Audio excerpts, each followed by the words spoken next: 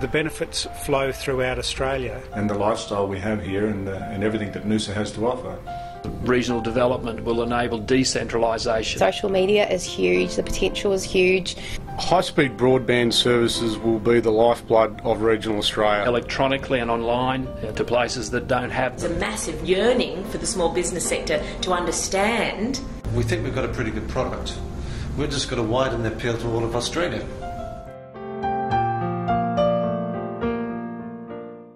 The Broadband Today Alliance is another part of the digital economy strategy for the Sunshine Coast Council.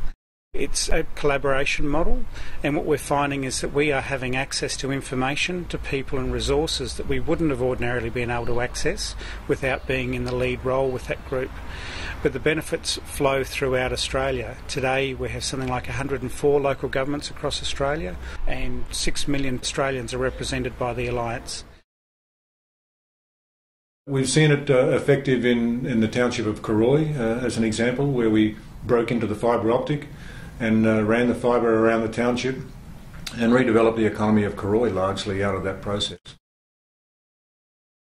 I just presumed that it was just the go because I came from the UK where broadband is commonplace and it's super quick and it's really cost effective as well. That was quite an adjustment in moving to Australia and in particular moving to a regional area.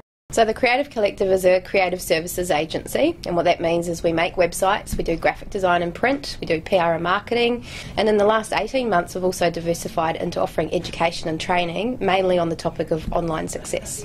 Someone global, you know, a big company who's using Twitter um, with much success to hear what they've got to say.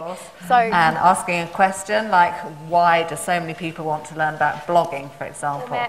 So what's going on, what can I be doing, what can I be getting better results with. There's also a private Facebook group which is really busy. I was looking at it today. They're all in there helping each other and getting feedback from So you can learn more about succeeding online. So that's what these Web Wednesdays are all about. Wow, so it's a digital business. Very much so, totally online. There's no doubt that the rollout of uh, the national broadband network, uh, the, the provision of high speed broadband connectivity across the nation is the most significant initiative.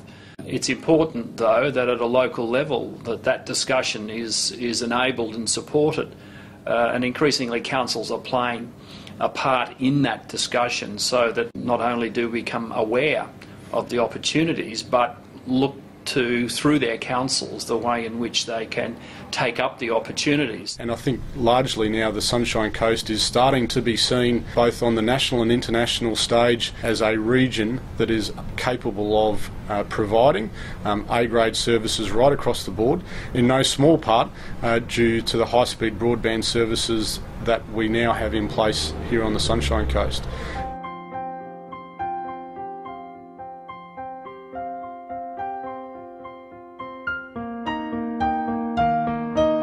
Jeff Sinclair owns Jive Design, an exclusive jewellery and art store in the centre of Noosa Heads. To expand the market for his products, he teamed up with a local digital marketing firm to take the business online. With the internet, it has changed the way consumers research products, the way consumers compare products, the way we buy products. It's literally turned our traditional business models upside down, and of course, then it changes the way we market products. Although I've been an internet shopper for years, getting into e commerce has got a lot of dark arts. It was not a particularly sophisticated decision, we just needed to have another channel of distribution. I conceived the Jive Silver Essentials range for women wanting stylish, contemporary jewellery without the designer price tag. This sterling silver pebble ring is a good. Just when Australia's going into one of its deepest retail depressions for years, so yes. So was, it's, was it's it the still, move? No, it was an absolutely right move. Um, you know, we had to do it. It's just a you know, really bad time right now. Mm. I do a lot of work in the evening, and if a guy next door's downloading a movie, my speeds drop. Really? Oh, yeah. So you're on ADSL at home? I'm on ADSL. Wish we had ADSL too. That would make a big difference. The store is on ADSL. That could be improved as well. It's not, you know, it's, it's okay. It's not great. We can function. I'd like it faster.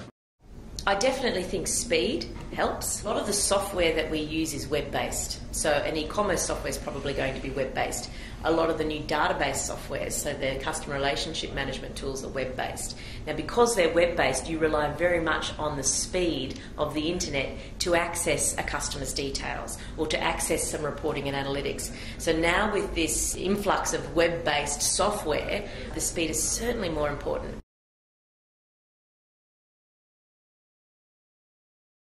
If we had the kind of speeds that the NBN's talking about, I think we'd have some really interesting conversations about what else we could do with the site.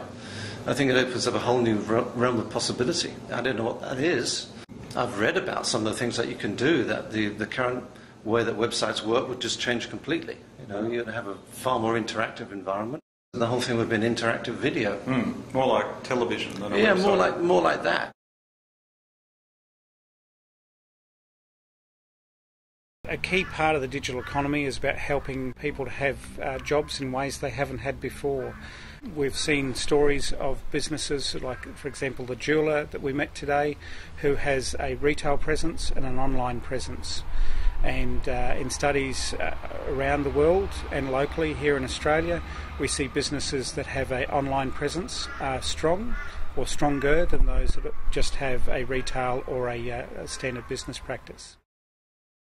Is teleworking, working from home and working remotely important to people around here? Look, I think it's a strong theme. I understand that across the region there have been many people here who have worked and worked from home. Uh, some have been challenged by the need to drive to Brisbane to upload uh, video and material that they've prepared to produce shows and those sorts of things. And so, by having the NBN, we'll be able to provide a stronger basis for teleworking to occur, and it's a, a great part of the solution. I experienced firsthand the inequity between um, access and, and services that I was able to achieve in Sydney and the access and services I was able to achieve here. Yeah. One of the most frustrating things for me was that some of those services I'd be able to, to get online, but I lived in an estate with a pair gain system and I couldn't even get an ADSL connection. I see the NBN as realistically the roads and the rail and the port of the future. What type of work culture am I going to? Am I going to have challenging work? Um, what's the community and services going to be like for my family and my children? Am I, am I going to have access to good quality health care and education services? Well, through the NBN, yes, you will. We can be very proud of the product that we have here now as a region, but also of what's on the way. And I'm sure it will be of great interest to the whole of Australia. And particularly when we can show that there are going to be a lot of job opportunities that come out of this. Uh, it's a tough time out there in the world today, but uh, we're probably one of the most progressive regions in Australia, as I see it. And, uh, and there will be jobs here, and there will be associations with other regions that have jobs uh, through technology and through our airport. And uh, I think that's a wonderful future for uh, anybody looking for a good home.